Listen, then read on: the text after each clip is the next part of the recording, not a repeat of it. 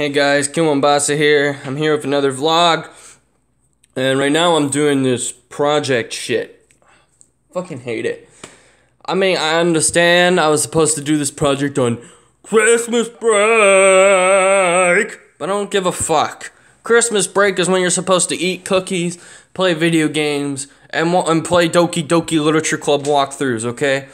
I mean, like, this project bullshit. Like, hold on, let's look at the instructions. Alright, so it's like, you got all this definitions and shit, and then it's like, use only class notes. Well, my class notes are shit. I just write down short words because I have big ass handwriting. Look at that. Japan surrenders. Japan surrenders. I write it in big freaking letters. I mean, it's like color code. Color code what? What the fuck? So anyway, I use only one color. Uh, I decided to highlight. Oh shit, where'd I highlight shit? See, I don't do shit because I'm tired of shit. So th there's there's like words you highlight and shit, and you have to you have to elaborate, and you have to. And you know, I mean, I understand the checklist and stuff, but you know, I there's other things to talk about. Like for example, during the age of industry, it want they want me to talk about um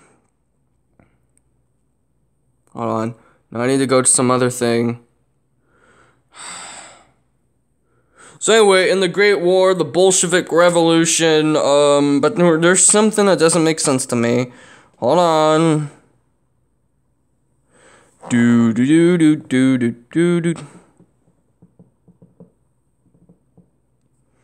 Okay, evaluate the differences of the perception of the American dream, like white males and all that. Uh, I can't really do that without completely generalizing entire groups. Like, I, I don't really like this slide. I know I have to do it, but like, this slide is so weird. It's like, evaluate the difference of the perception of the American dream. So, what I did for my project was I tried to be as general as possible. And of course, they're probably gonna, you know, hate me because I didn't fill up the whole fucking thing. Because I put for white male traditional values and a homogenous society and limited immigration. Of course, this is a stereotype, but I had to put something. And then for women, I pretty much just put feminism, which is equality between men and women and the continuous progress to achieve it. And you're probably like, Kyle, I thought you hated feminism. I do. Feminism is the equality of outcomes.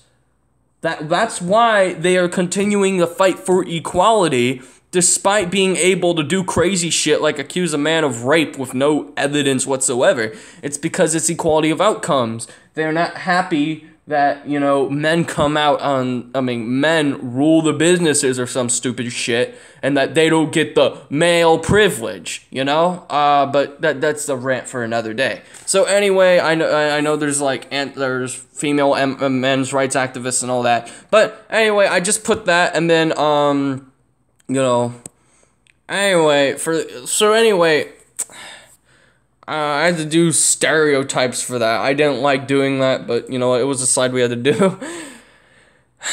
so I'm going off on a tangent. I really hate working on this project, and it fucking sucks. Uh, as you can see, I'm in the kitchen because I'm still grounded.